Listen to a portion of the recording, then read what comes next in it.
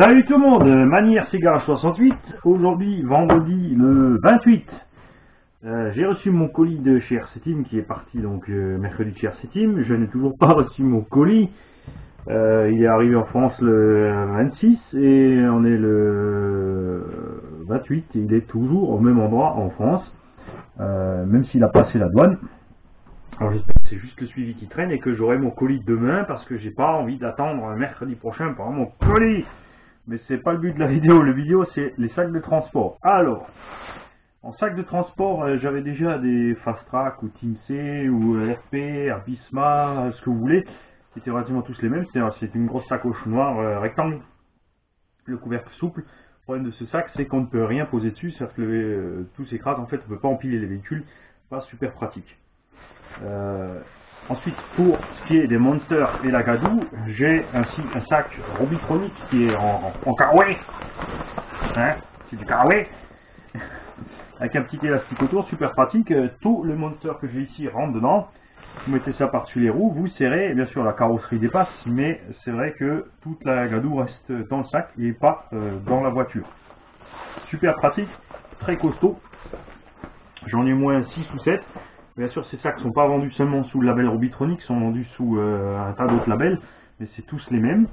Et là, aujourd'hui, euh, j'ai pour vous, je teste le sac de transport Obitech Piste, qui est donc le même pour Buggy, euh, bien sûr le même pour Truggy, et ça va de dimensions différentes. Donc le sac est de très bonne qualité, ici on le voit, le logo est bien dessus, c'est bien cousu, on regrette par contre une petite tirette, on aurait aimé tout simplement des grosses tirettes. Euh, des petites tirettes euh, sur un sac de transport, c'est pas forcément ce qu'il y a de mieux, le plus simple, le plus génial. Euh, ce que je trouve aussi négatif, c'est que la poignée de transport pour accrocher les deux poignées se balade. Elle n'est pas fixée sur une poignée. sur les sacs robitroniques là, elle est cousue sur une poignée, donc on la perd jamais, comme c'est le cas souvent sur les sacs de sport. Ici, si vous ne faites pas gaffe, vous allez paumer votre poignée. C'est pas bien méchant on en arrive à la caisse elle-même. Alors la notice, là voilà la notice. Euh, ouais, pour moi c'est un peu la loose la notice, elle est simple, mais il faut regarder de près. En fait, je vais vous la montrer de près. Vous voyez clairement sur le dessin que les replis du carton doivent être dans la boîte. C'est exactement ce que je ne veux pas, c'est pour ça que je ne l'ai pas fait. Si vous mettez les replis à l'intérieur, vous avez ici donc le repli qui arrive du carton, qui est ici à l'extérieur, on le voit pas très bien parce que j'ai euh, déjà renforcé. Donc vous avez les replis à l'intérieur de toute la boîte, ça veut dire que toute la saleté, euh, le dernier clip de carreau que vous pensiez encore avoir, qui s'est perdu dans la boîte, et eh ben tout ça, ça peut se coincer en dessous, ça se balade, et c'est nul. Euh, j'ai donc utilisé la boîte de l'autre sens, c'est-à-dire que j'ai mis les plis à l'extérieur en fait, pour avoir une caisse à l'intérieur nickel où rien ne peut se balader dedans, ou si ça se balade, je peux le récupérer rapidement. C'est pour ça aussi que, et je vous le conseille de le faire même si vous le montez dans le bon sens, j'ai renforcé ici avec du scotch toilé euh, sur toutes les jonctions et ça renforce super bien la, boîte. Un véhicule piste, ça fait en moyenne 4 kg on va dire. On a une séparation ici pour mettre la boîte radio euh, beaucoup trop molle, donc là, le véhicule forcément, mais quand il est dans la boîte, il se promène sur ses roues. Euh, je vais pas m'amuser à chaque fois à démonter les roues pour le poser à plat. Et du coup, même s'il est posé à plat, il peut glisser et euh, aller percuter la radio sur les transports. Ça, c'est pas super. On aurait aimé ici quelque chose de beaucoup plus solide que ça. Ça, c'est une chose. L'autre chose, c'est que les rivets à mettre, en fait, ce sont pas des vis. Alors, c'est pas quelque chose à visser. Donc, vous avez une partie, un clip en plastique. On est là un clip sur plastique et un espèce de petit rivet euh, avec un filetage vis à bois. Et c'est pas à visser en fait. Il faut le presser en force. Donc vous ne pouvez pas utiliser une pince, parce que forcément, vu la profondeur de la boîte, vous n'allez pas pouvoir pincer grand chose.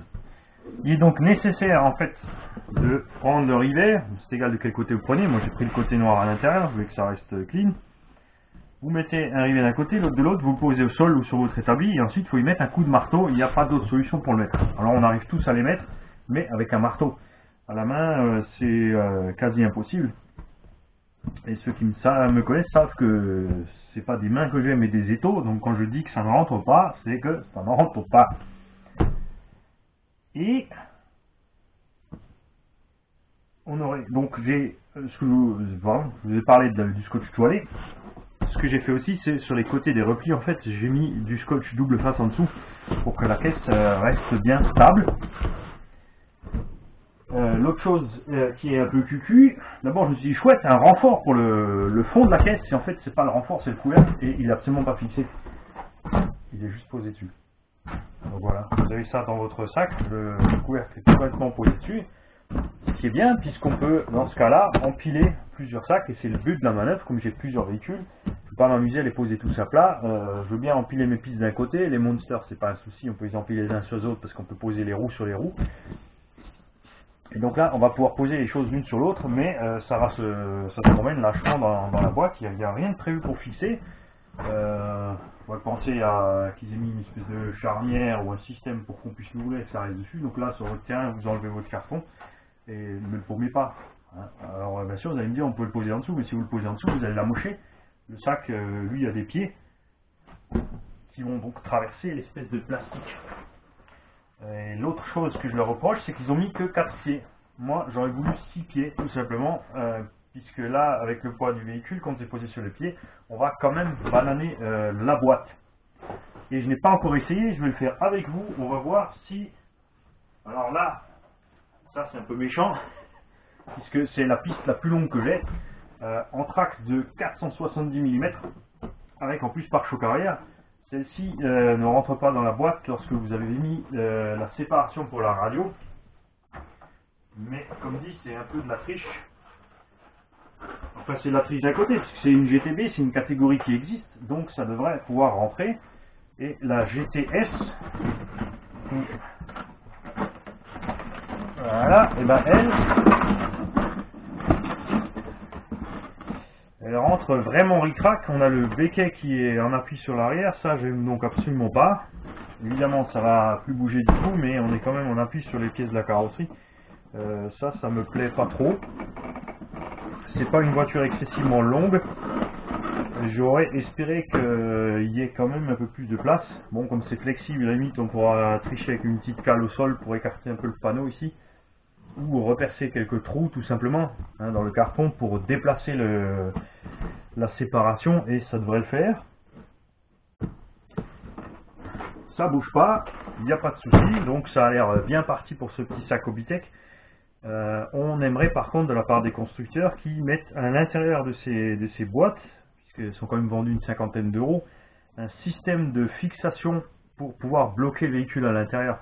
Ne serait-ce qu'une bande velcro qui est fixée sur le côté, ce que je vais faire, tout simplement pour euh, rabattre le véhicule en bas, on met une petite cale euh, sous le châssis pour que les roues soient en l'air, la caisse soit posée, et euh, une petite pente de velcro ou quelque chose, une sangle autour pour limiter les mouvements du véhicule.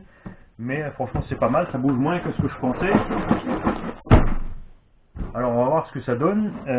Et on arrive au point essentiel de ma vidéo sur les sacs de transport. C'est que tous ceux comme moi qui ont des monsters ont le même problème. Il n'y a pas un constructeur qui fait des sacs corrects pour les monsters. Euh, bien sûr, vous allez me dire, il y a le HPI pour le Savage, il y a etc. Mais ce sont des sacs à 200 euros. Je ne mettrai jamais 200 euros dans un sac de transport pour un Monster. Euh, J'ai des Monsters ici, j'ai acheté le châssis 300 euros, l'électronique on arrive à 500-800 euros. Je ne vais pas mettre 20% du prix du véhicule dans un sac de transport. Je pense sincèrement que pour 200 euros, si je vais voir une couturière locale et que je lui dis la matière qu'il me faut, elle va réussir à me coudre un sac pour une cinquantaine d'euros, euh, tout frais compris, avec la main d'œuvre et on sera loin des 200 euros. C'est vraiment exagéré des sacs à transport à roulettes pour 200 euros. Euh, pour moi, je trouve c'est du grand n'importe quoi, surtout en loisir. Rares sont ceux d'entre nous qui traversent la France en TGV avec euh, le Monster dans le sac. Ça peut arriver. Mais franchement, j'ai rien trouvé de. Il y a quelque chose de sympa aux États-Unis, mais avec les frais de port et les taxes de douane, euh, ça devient aussi exorbitant. Alors, si quelqu'un d'entre vous a trouvé un bon sac renforcé aussi pour mettre les monsters avec un toit rigide sur lequel donc on peut empiler un autre sac, euh, parce que moi j'aimerais bien mettre deux caisses côte à côte, plus euh, deux en travers, etc. pour pouvoir proprement empiler mes machines dans, dans mon estafette. Sans devoir passer par la case, euh, passer le menuisier et faire euh, des caisses sur mesure moi-même avec un espèce de tiroir, etc. etc. Et dans ce cas-là, ça devient plus vraiment transportable, ça devient lourd, ça devient pas pratique. Euh, ça, ce sac-là me plaît, franchement, merci Ubitech, même s'il y a encore deux trois améliorations à faire, aussi concernant ces rivets, puisque pour les démonter, c'est une autre histoire. Si vous les démontez, vous allez amocher votre coffre. Donc ça, c'est dommage. Et l'autre truc, c'est que la tête ici en métal est plus petite que la tête plastique.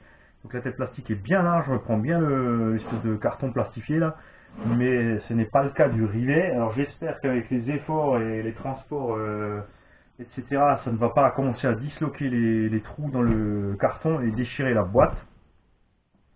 J'espère aussi que cette boîte n'est effectivement pas très sensible à la flotte, puisque nous ici on roule aussi sous la flotte. Donc on pose des fois les machines humides dans le carton et on aimerait que ça se désagrège pas dans tous les sens ce truc.